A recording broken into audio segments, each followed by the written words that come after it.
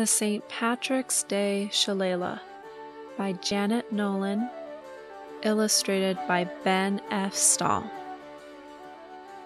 Day after day, Fergus felt a rumble in his empty belly as he sat beside his favorite blackthorn tree. Watching the clouds reach down from the sky and touch the earth, it was a terrible time in Ireland when Fergus was a child.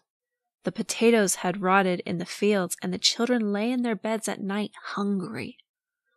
Late one night, when the peat fire had burned low, Fergus woke to the sound of his parents' worried whispers. When the sun rose through the mist of dawn, they told him to say farewell to Ireland. They were sailing to America. On his last night in his homeland, when the stars were shining their very brightest, and the moonlight shimmered on the land, Fergus crept from his window and cut a branch from the blackthorn tree. He would take a piece of Ireland with him on his journey across the ocean. As passengers on the crowded ship waved goodbye to the land they would never see again, Fergus whittled the branch from the blackthorn tree into a fine shillelagh. His tears softened the wood. Fergus worked hard in America. He shined scruffed up shoes during the day, and for a few pennies more, sold newspapers at night. These were difficult jobs for a skinny boy with tired legs.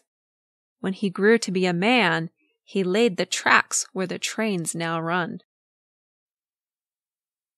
On Sundays, wearing his finest suit and carrying his shillelagh, Fergus courted the lovely lass who became his bride.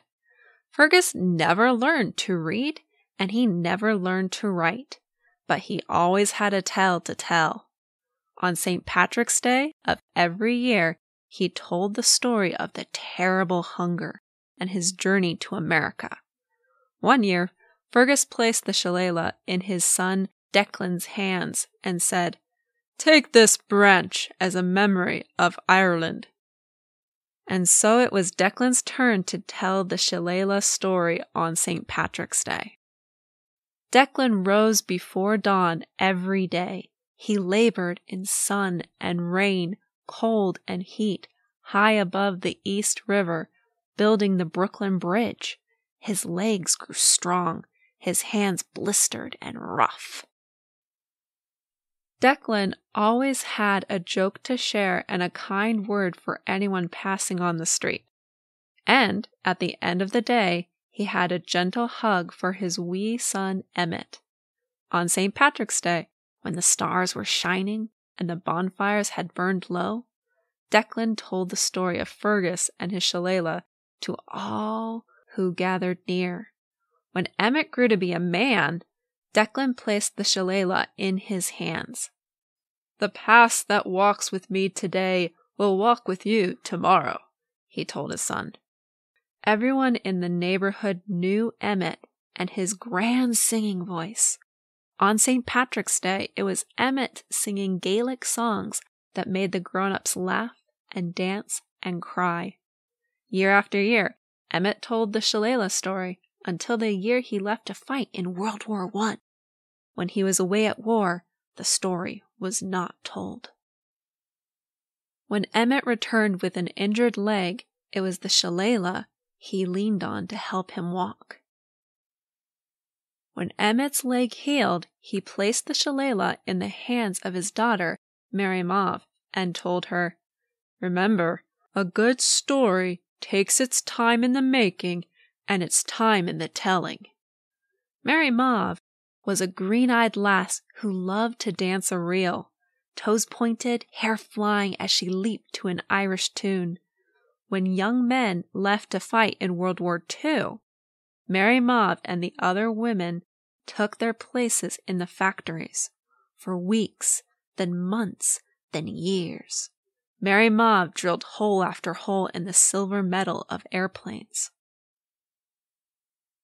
One St. Patrick's Day, Mary Mauve placed the shillelagh in the hands of her son Garrett. May the stories of our past guide you to your future, she told him. Garrett was a big, tall man with bushy eyebrows and eyes that twinkled even when his face was still. He became a music teacher, helping children to play tin whistle, fiddle, flute, and drum. One, two, three, four. He tapped out the rhythm with his shillelagh. Garrett was not a man who easily cried, but on the day his son Ryan graduated from college, tears of pride welled in his eyes. And so the shillelagh was passed down through the generations, from Fergus to Declan, Declan to Emmet, Emmet to Mauve, and Mauve to Garrett, who gave the shillelagh to Ryan. Then Ryan moved to a new house and put the shillelagh in a closet. There it stayed until years later when Ryan's daughter Kaylee found the dusty shillelagh while playing hide and seek. What's this? Kaylee asked her father. A story I forgot to tell, said Ryan. He put down the cooking pot and turned toward his daughter. This shillelagh is our past, he said. Its story has been told on St. Patrick's Day for many years, through many generations. Why didn't you tell the story to me? Kaylee asked him. I would have listened. I got so busy worrying about tomorrow, I forgot to tell you about our family story of yesterday. On St. Patrick's Day, your grandpa Garrett would love to tell you the shillelagh story. And so on St. Patrick's Day, when the stars were shining their very brightest and the moon glowed, Kaylee sat down beside her grandpa Garrett.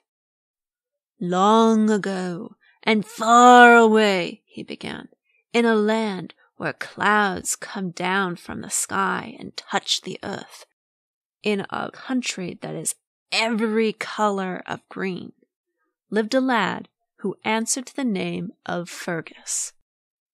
When the hunger of the potato famine forced his family to leave the land he loved, Fergus cut a branch from his favorite blackthorn tree and whittled it into a fine shillelagh.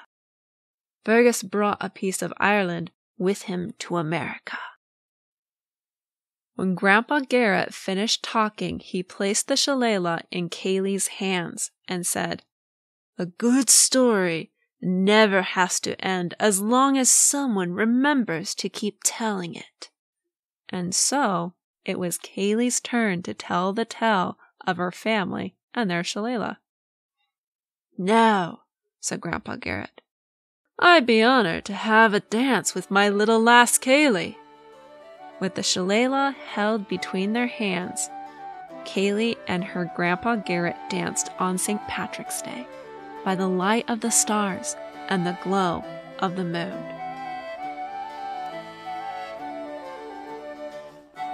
The end.